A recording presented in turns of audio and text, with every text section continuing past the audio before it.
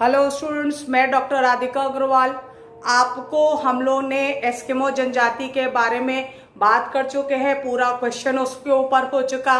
दूसरा क्वेश्चन है पिग्मी जनजाति पे। पिग्मी जनजाति के में भी हम सब बात कर चुके हैं। उनके निवास स्थान के बारे में, उनके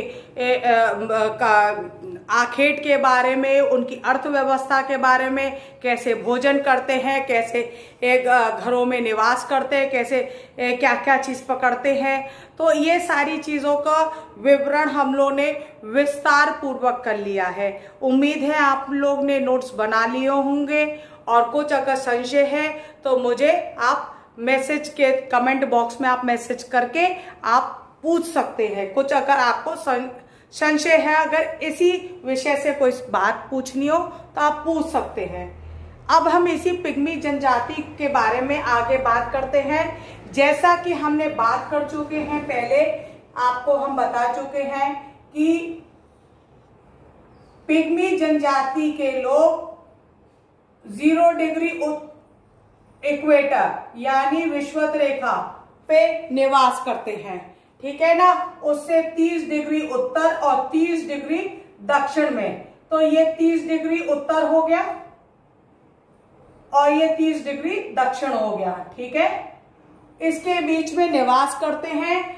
यहाँ पर तापमान बहुत तेज होता है। तापमान को सूर्य सूर्य ये हो गया, ठीक है?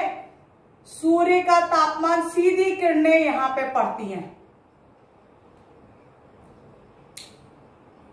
सूर्य की किरणें जब सीधी विश्वत रेखा पे 30 डिग्री उत्तर और 30 डिग्री दक्षिण और विश्वत रेखा पे सीधी पड़ती हैं तो यहाँ पे तापमान बहुत अधिक होता है।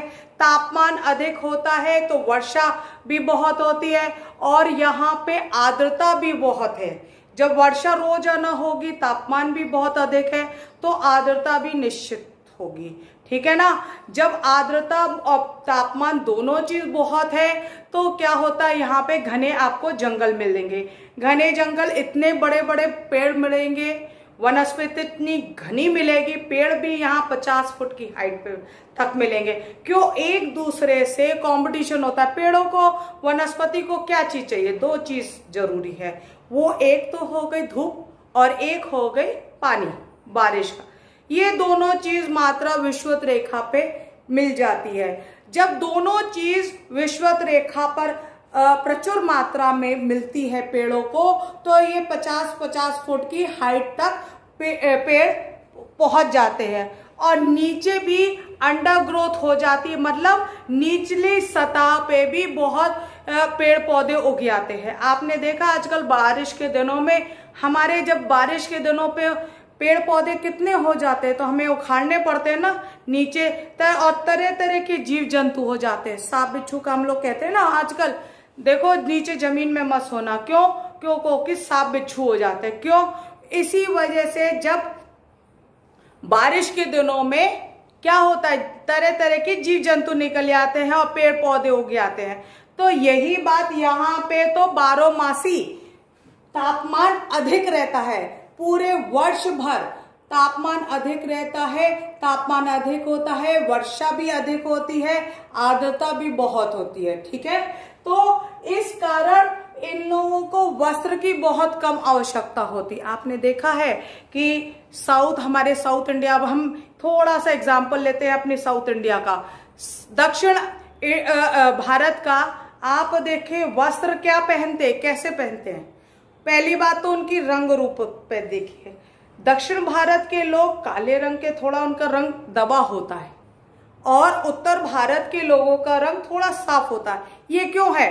क्यों? क्योंकि भारत, दक्षिण भारत की स्थिति विश्वत रेखा के पास है। हमारी दक्षिण कन्याकुमारी पे स्थिति क्या है? आठ डिग्री चार मिनट पे है। तो ये विश्वत रेखा के पास हो गया। तो यहाँ पे लोग क्या हुआ? थोड़े सांवले रंग के होते हैं, और अगर उत्तर भारत के देखें तो उनका रंग गोरा होता है, क्यों? क्योंकि सूर्य की किरणें यहाँ पे तिरछी पड़ती है। यहाँ पे थोड़ी सीधी पड़ती है इसलिए यहाँ के लोग थोड़े सांवले रंग के होते हैं। अब हम यहाँ पे अफ्रीका में बात करें, ये जो पिग्मी जनजाति के लोग हैं, ये विश्वत रेखा पे रहते हैं। विश्वत रेखा के आसपास 30 डिग्री उत्तर और 30 डिग्री दक्षिण में तो इनका रंग भी साफ़ सांवला होता है। ये अफ्रीका के जाति के हैं, ठीक है? ये काले भी होते हैं, ठीक? आपने अफ्रीका के लोग देखे हैं ना? कैसे होते हैं? थोड़े काले होते हैं। काले भी होते मज़बूत होते दांत मज़बूत होते हैं सफ़ेद दांत मज़बूत होते हैं। तो ये सब पिग्मी जनजाति के वो हैं। इसी वजह से ये इतनी तापमान है यहाँ पे वर्षा होती है। ये ऊपर के हिस्से में ये कपड़े नहीं पहनते हैं। आ, लगभग नंगे नंगे रहते हैं। ये केवल अपने गुप्तांगों को ढकने के लिए स्त्री पुरुष पत्तों से पत्तों से ढक लेते हैं। और पत्तों को किससे बांधते हैं? पेड़ों की छाल से बांधते हैं। छाल समझते हैं आप? पेड़ों का जो ऊपर का तना होता है उसको निकाल के उसकी डोरी बना के उस पत, उन पत्तों को बाँध लेते हैं। अपने गुता गुप्त अंगों को इस तरह से स्त्री और पुरुष अपने ढकते हैं। ठीक है? ये लोग ताड़ के पत्तों का ताड़ के पत्ते बहुत चौड़े चौड़े होते हैं।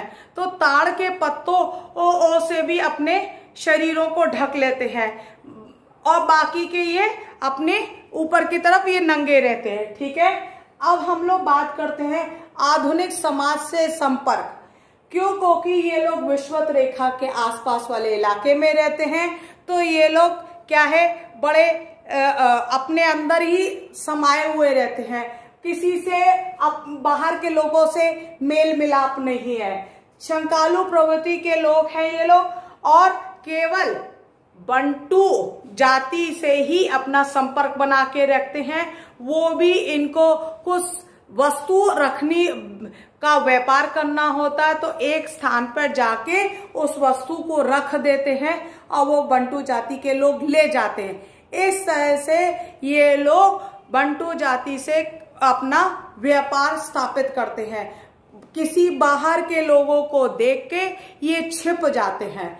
इनका क्या है? ये किसी से मिलना बाहर आधुनिक दुनिया से अपना मेल जोल नहीं रखना चाहते। ये बहुत डरते हैं। आधुनिक समाज से डरते हैं। तो एक ये इनका क्या है? आधुनिक समाज से बिल्कुल दूर रहते हैं। इस तरह से मैंने आपको पूरा का पूरा पिग्मी जनजाति के बारे में बात कर लिया। अब हम लोग दूसरे जाति के बारे में बात करेंगे। मुझे उम्मीद है आप लोग को पूरा चैप्टर समझ में आया होगा और आपने नोट्स बना लिया मैं साइड हो जाती हूँ। आप स्क्रीनशॉट ले लें।